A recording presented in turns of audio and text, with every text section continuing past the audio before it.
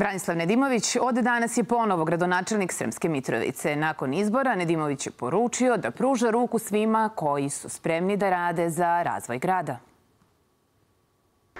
Branislav Nedimović posle osam godina ponovo je izabran za gradonačelnika Sremske Mitrovice. Pored njega, tajnim glasanjem, Skupština je izabrala na predlog Nedimovića i zamenicu gradonačelnika, diplomiranu pravnicu Danicu Nedić iz Sremske Mitrovice, kao i članove gradskog veća.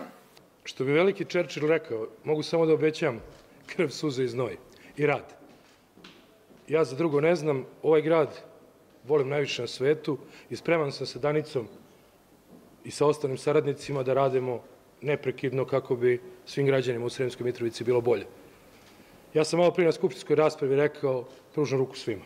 Novoizabrani gradonačelnik će sutra održati prvi radni sastanak sa rukovodstvom opšte bolnice u vezi, kako je rekao, suštinskih promena koje moraju da se dogode u toj ustanovi, a nakon toga najavio je i prvu sednicu gradskog veća za nedelju na kojoj će biti doneta odluka o smanjenju cene daljinskog grejanja za 10% za sve korisnike. Nakon toga usledit će donošenje odluke o roditelju-negovatelju, izmena sistema parkiranja u centru grada.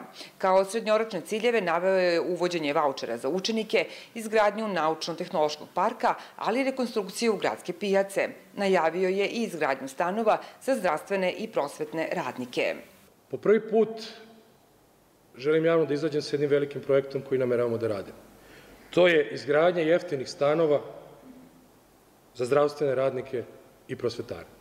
Nedimović je obećao reorganizaciju lokalne administracije i javnih preduzeća, a u narednih 60 dana predložit će i svoje saradnike u upravi. Da podsjetimo, Branislav Nedimović je prvi put izabran za prvog čoveka Sremske prestonice 2008. i tu funkciju je obavljao do 2016. Nakon toga bio je ministar poljoprivrede, šumarstva i vodoprivrede u dva mandata, podpredsednik vlade Srbije do 2022. a do nedavno i podpredsednik Futbolskog saveza Srbije.